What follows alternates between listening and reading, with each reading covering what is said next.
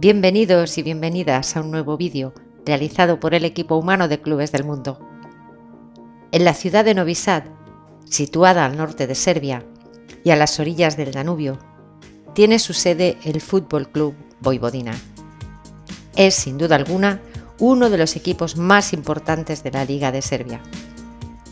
El Estadio Karadorde es el lugar donde la Vojvodina disputa sus partidos como local. Es un estadio multipropósito en Novi Sad, la segunda ciudad más grande de Serbia. Después de una remodelación, se amplió el aforo a 15.000 espectadores, todos ellos sentados. Tras esa remodelación, el estadio fue la sede en 2009 del Campeonato Europeo de Atletismo Junior. Anteriormente, era conocido como Estadio Municipal. En 2007 fue renombrado como Estadio Karadorde en honor a Karador Petrovic, el líder del primer levantamiento serbio contra el Imperio Otomano y fundador de la Casa Real de Karadordevich. De cualquier modo, el Estadio Karadorde fue en realidad el nombre original del estadio, utilizado desde su construcción en 1924 hasta el final de la Segunda Guerra Mundial. El Vojvodina de Novi Sad es el tercer club más antiguo de la Superliga Serbia y uno de los clubes más exitosos del fútbol serbio, con dos ligas yugoslavas, dos copas serbias, una Copa Mitropa y una Copa Intertoto en su palmarés. El Fútbol Club Vojvodina fue fundado el 6 de marzo de 1914, en vísperas de la Primera Guerra Mundial, en un edificio de apartamentos ubicado en la calle 12 Temerinska.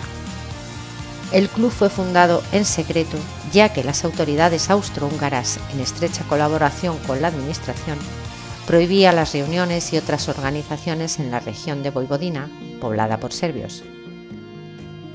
El mismo nombre del club Voivodina era el nombre de la provincia autónoma que los serbios locales políticamente tenían el objetivo de crear. El club fue fundado por unos cuantos estudiantes de Novi Sad, al principio de su creación, el equipo jugaba con brillantes colores azules, sin embargo, pronto cambió a la indumentaria rojiblanca, inspirado por el club checo del Slavia de Praga. Durante la Segunda Guerra Mundial, el club perdió casi todo su equipo, entre ellos Bosko Petrovic, que murió en la Guerra Civil Española, Milan Simin y su hermano Pera Simin, así como muchos funcionarios del club y aficionados. Los mayores éxitos del club a nivel nacional se produjeron durante el tiempo que duró la República Federal Socialista Yugoslava. Fue en este periodo cuando el Vojvodina ganó la primera división yugoslava en 1966 y 1989 y fue subcampeón en 1957, 1962 y 1975. El Vojvodina llegó hasta los cuartos de final de la Copa de Europa antes de ser eliminado en circunstancias dramáticas por el futuro campeón, el Celtic de Glasgow, por 1 a 2 en el resultado global. Dicha eliminación europea se produjo gracias al capitán del Celtic, el mítico Billy McNeil, que marcó un gol en el último minuto del partido. Después de ganar la Copa de Europa ante el Inter de Milán por 2 a 1 en Lisboa, los jugadores del Celtic aseguraron más tarde que el Voivodina fue el mejor equipo al que se había enfrentado en esa temporada de 1967. En la década de 1960 logra también llegar dos veces en 1962 y 1968 hasta los cuartos de final de la antigua Copa de Ferias Europea. El club también participó en la Copa de Yugoslavia, llegando a la final en 1951, en la que perdió ante el Dinamo de Zagreb. En 1977, el Voivodina hace historia internacional al ganar la Copa Mitropa por delante de los húngaros del Vasas de Budapest. Ya en el siglo XXI, y con Serbia como Estado independiente y desvinculado de la antigua Yugoslavia, El club llegó en 2007 a la final de la Copa Nacional, pero perdió por dos goles a cero ante el Estrella Roja.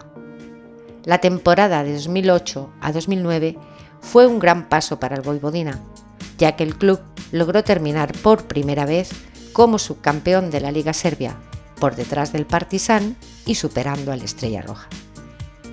Esta fue la primera vez que equipos no muy tradicionales como el Estrella Roja o el Partizan terminaba entre los dos primeros desde 1998. En 2010, el Voivodina fue uno de los finalistas de la Copa de Serbia, pero perdió nuevamente frente al Estrella Roja. En 2011, el Voivodina volvió a alcanzar la final de Copa y el último partido se vio empañado por la controversia que culminó con los jugadores del Voivodina abandonando el terreno de juego en el minuto 83, después de varias decisiones polémicas del árbitro cuando el partido se encontraba 2 a 1 a favor del Partizan. El Partizan fue declarado ganador del partido y premiado con el trofeo. Y finalmente llega el éxito en el fútbol serbio y en 2014 y 2020 logra hacerse con dos copas de Serbia. En la final de 2014 vence por 2 a 0 al Fútbol Club Jagodina. Y este año, en 2020, logra la proeza de ganar su segunda Copa de Serbia ante el Partizan de Belgrado en los lanzamientos de penaltis, tras terminar el tiempo reglamentario con empate a 2.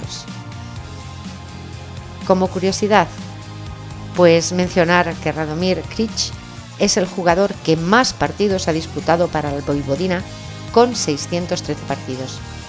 Por otro lado, el máximo goleador histórico del club es el delantero Todor Veselinovic con 586 goles, de ellos 130 fueron marcados en el campeonato yugoslavo.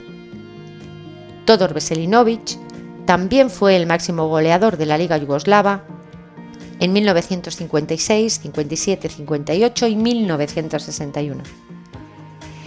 Y esto es todo por hoy. Como siempre, os invitamos a suscribiros al canal y os esperamos en el próximo vídeo con una nueva historia sobre algún equipo de fútbol mundial. Hasta pronto amigos y amigas.